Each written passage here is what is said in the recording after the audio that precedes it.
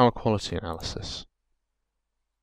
This is a, a time-lapse video looking at harmonic and uh, waveform display. This covers a period of approximately 33 hours recorded at a residential address in London over a Saturday to Sunday period. Now, for those of you who aren't familiar with this type of display, we've got uh, two displays here. One is a fairly straightforward oscilloscope display showing the waveform uh, you can see the RMS voltage averaged over a one second period up in the top left. And in the top right of the display we have a vector scope showing the uh, harmonics. Um, this is read radially from the center being zero to the outside being a greater harmonic value.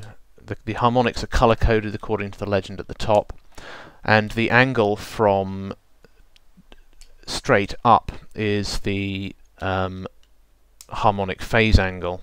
So in this case, um, straight down would be opposite phase to the fundamental, and uh, left or right would be 90 degrees in phase.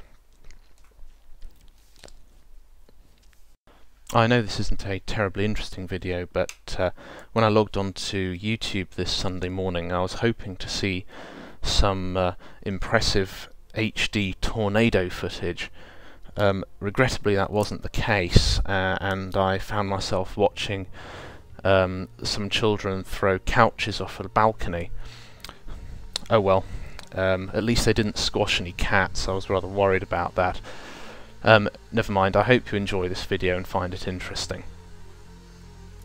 Oh, actually, I, I, forgot something. What I haven't put on this video is the is a measure of the total harmonic distortion. Um, well, as you might guess from the waveform, it's quite substantial. But uh, over this uh, Saturday-Sunday period, it fluctuates between about 15 to 20 percent.